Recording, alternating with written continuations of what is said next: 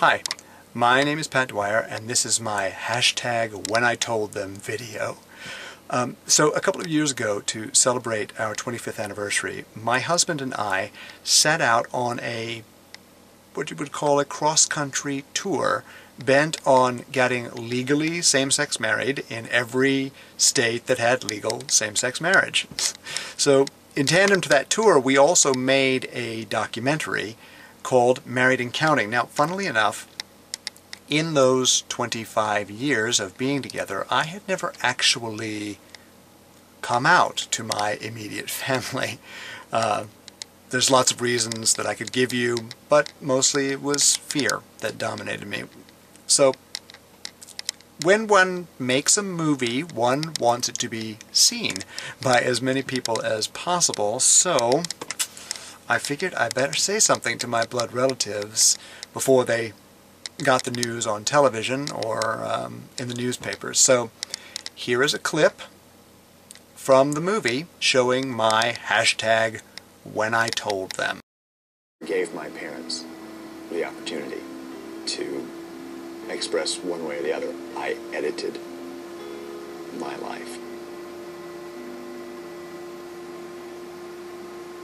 This is for many members of my family the first time that I will be speaking openly about the 25 year relationship that I have had with Stephen. Uh, sadly, I, I never had the coming out moment. Over the years, as moments would arise when my, my fear would be set aside and I would think, I really should come out and let them know. And Stephen's coming in, and I will restart this in a minute.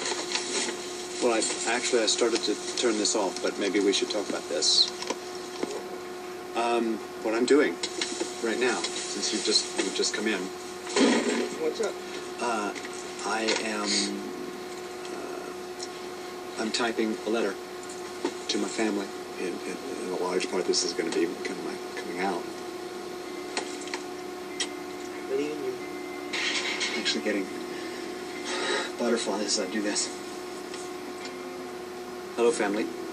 There are those of you with whom I have spoken openly over the years and who understand that Stephen Mosher and I are a couple and have been for nearly 25 years. In fact, we will be celebrating our 25th anniversary in April of this year.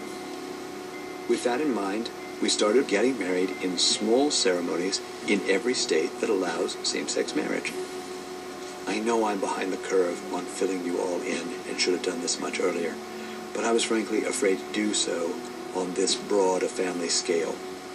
Still, I was not giving you the opportunity to choose to be a part of this chapter in my life or not, based on fear. This is my step to correct my mistake.